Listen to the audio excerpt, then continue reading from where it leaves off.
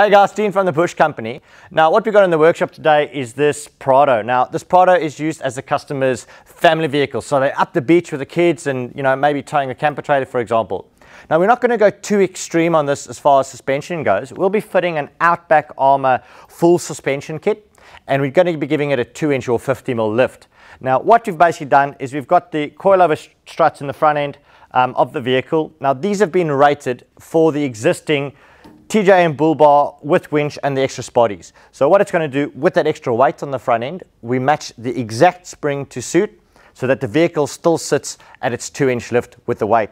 In the rears, there's no rear um, drawers, there's no spare wheel carriers or anything like that. So we've gone with 150 kilogram over standard um, weight carrying capacity. So if we do say hook a trailer on the back end, at least the vehicle will still sit at a nice even two inch lift.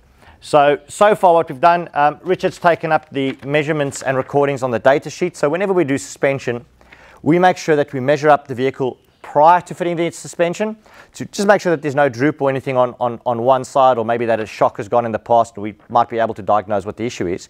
But the main thing is for data keeping and warranty records. Now remember, Outback Armour gear, a full three-year warranty, unlimited kilometers. And that's one of the reasons why we use them.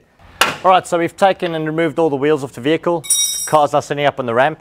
Um, here's the fun part, you know, getting the old rusty bolts out. So I basically sprayed that down with a bit of WD-40 to try and make it a bit easier for us to remove. Um, we undo the bottom low control arm bolt, so effectively the entire strut unit like that would be able to fall out of place. It's not as easy as it sounds push it back in and yeah, bolt it up together. That'll be technically the one side done. As you can see, the lower control, control arm's hanging down over there. Um, basically, we're just going to drop this straight out of place now. And just to clear the CV and the axle, there we go, all good. One out, now to put the new one back in. So while we're down here as well, we're just going to go through the extra suspension components as well on everything attaching. Um, so bolts, check over everything, make sure that, for example, these booties are not cracked um, as that obviously keeps the grease in and keeps the moisture and, and dirt and stuff out. So we just have a good old look over before we put the new strut in. Okay, awesome. So there we go. So push this into place. This is usually a one-man job. I'm just we're just helping each other out in the workshop today. We're pretty busy. So let's get that um in place and lined up. There we go. And I'll just add the nuts on the top end. So effectively, there we have it. Now it's a case of, you know, bolting everything back together and technically that's one side complete. The rear of the vehicle basically finished up that side. Now once you release the shockies, basically your, your diff can come down. Um, we rested up on these diff stands over there. So we're just about to get this coil in. So let's see if we can crack on and get that one in place. Just a bit of a,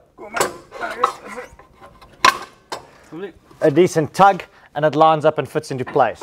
Um, after this, we're basically just fitting the last shock absorber on this end, um, doing up all the nuts and bolts, and then, yeah, suspension should be done.